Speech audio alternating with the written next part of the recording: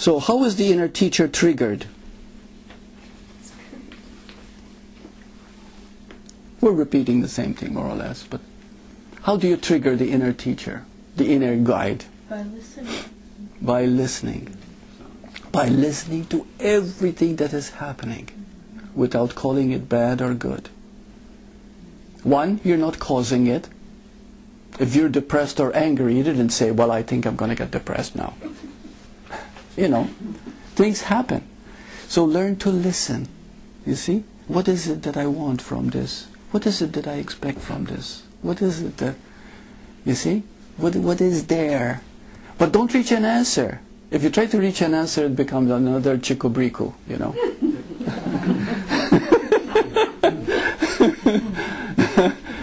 you know, yeah. I have a question. We're, we're, we're exploring going into the experience to uh, go back to the source. But also, nothing matters. So why bother exploring the experience at all?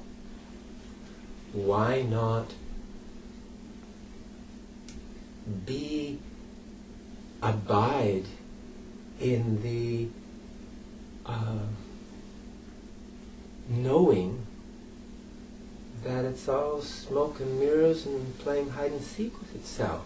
And that's the point to get to, you see. When stuff is happening, it matters to us.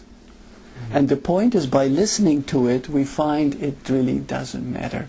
It is that, that pull, that yearning towards that ultimate sense, that ultimate being, you see. And yeah, in time we begin to see, I am not that noise.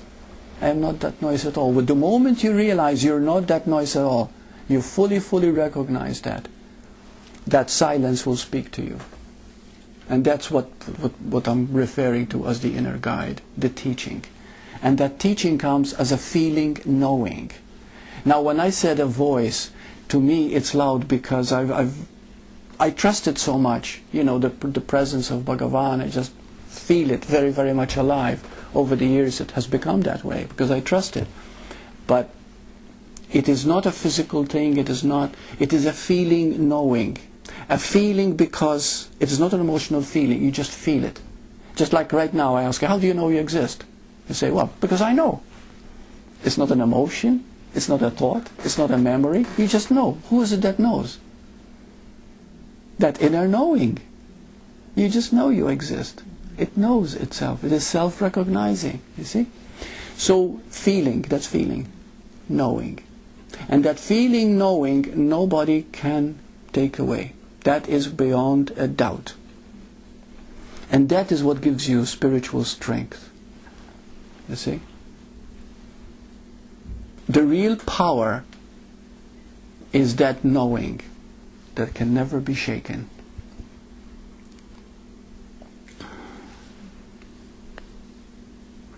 So, what is here and now then? We, we talk so much about it. What is that is here and now?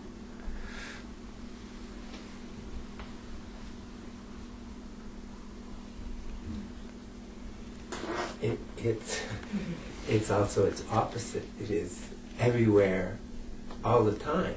That's right. That's right.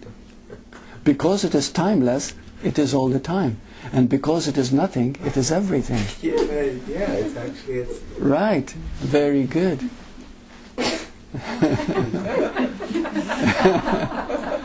and that's what Einstein meant by the relativity theory. Everything is just relative to it.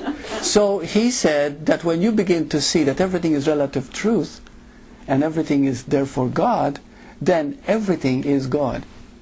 First you see it in the bird and the baby and the animal, and next you begin to see it in shit. See it in, in, in muck, see it in, in the rain, in winter, in, in, in the cold. It doesn't matter. You see what I mean? There is nothing that is not part of that source, part of that being. Nothing is apart from that. It's all part of, of it. You judge nothing. You see? And that's, that's the beauty.